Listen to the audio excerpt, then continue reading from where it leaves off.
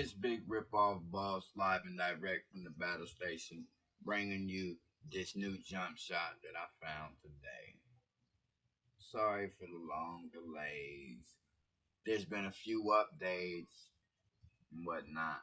The patches came out, KD's fixed, you know, they they fixed a lot of jump shots.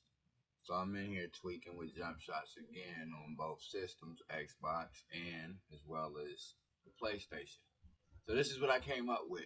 So anybody's having problems with a with a lag, you know, y'all got into 50 people in the server and whatnot, and you can't find a jump shot. This probably will work for y'all.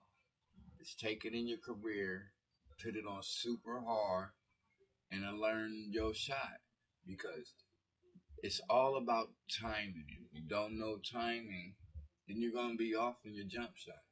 Don't be confused on the jump shots this year.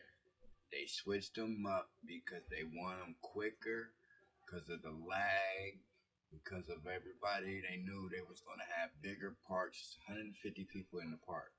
So you gotta deal with that. So that's why I'm bringing y'all this new jump shot today. So if you like it, drop the like, hit the subscribe button, do what y'all do. Just let it know.